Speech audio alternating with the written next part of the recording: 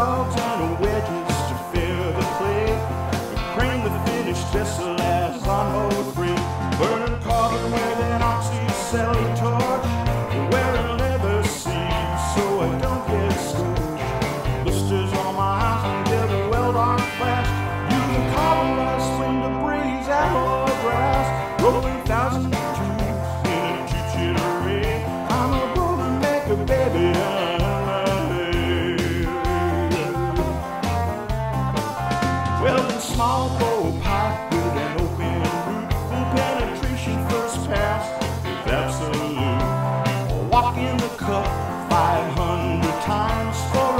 of a ass.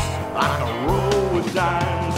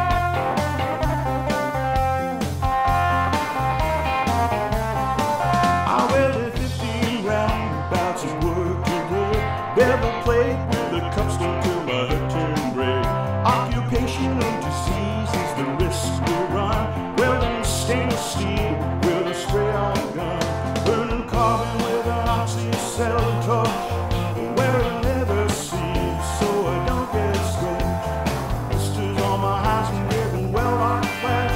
Using carborized, flame debris, alloy brass. Rolling